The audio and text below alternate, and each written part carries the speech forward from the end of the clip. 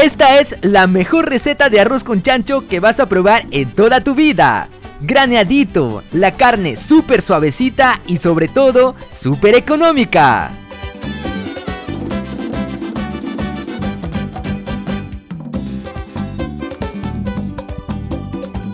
Vamos a empezar esta receta utilizando carne de cerdo. Ahora, con la ayuda de un cuchillo vamos a trozar nuestras carnes en trozos grandes. Recuerda no cortarlo tan pequeño porque a la hora de cocinar se van a reducir. Ahora pasaremos a salpimentar. Agregamos un poquito de sal al gusto, un poquito de comino al gusto, pimienta al gusto Y con nuestras manos bien limpias y desinfectadas vamos a remover hasta integrar todo. Recuerda hacer movimientos suaves y delicados hasta que toda nuestra carne esté condimentada. Ahora en una olla vamos a agregar una cierta cantidad de aceite vegetal y vamos a poner a sellar toda nuestra carne de chancho.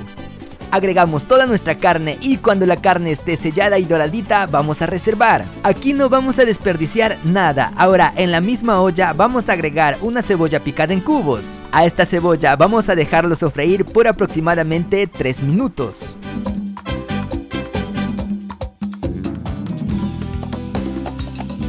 Ya que nuestra cebolla está bien frita, vamos a agregar una cucharadita de ajo. A esto, haciendo movimientos circulares, vamos a sofreírlo por 2 minutos. Y para darle ese colorcito y saborcito tan agradable, vamos a agregarle 3 cucharadas de ají mirasol. También haciendo movimientos circulares, vamos a dejar que se sofría por 3 minutos. Y el sabor y color de nuestra receta ya va tomando forma, así que vamos a agregar una cucharadita de ají panca. Por supuesto, vamos a remover con mucho cuidado y dejamos sofreír por 3 minutos. Ahora agregamos una cucharadita de cúrcuma. Agregamos también pimienta al gusto y un poquito de comino al gusto.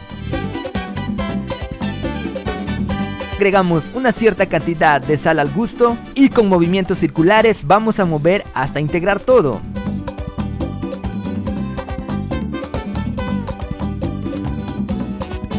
Como siguiente paso vamos a agregar 4 tazas de agua. Con giros suaves y delicados integramos.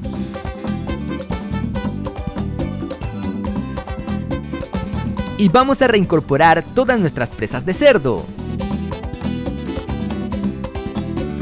Ahora, a esto lo vamos a dejar cocinar por aproximadamente 15 minutos. Ahora, ya pasaron los 15 minutos, vamos a agregar medio pimiento cortado en cubos. También agregamos una zanahoria cortada en cubos. Agregamos 70 gramos de arveja. Y ahora sí, haciendo movimientos vamos a integrar todos los ingredientes. Ya que lo integramos todo, vamos a agregar un choclo desgranado. Y a esto vamos a dejar que se cocine por aproximadamente 5 minutos. Ya nuestras presas están lo suficientemente cocidas, ahora vamos a reservarlas.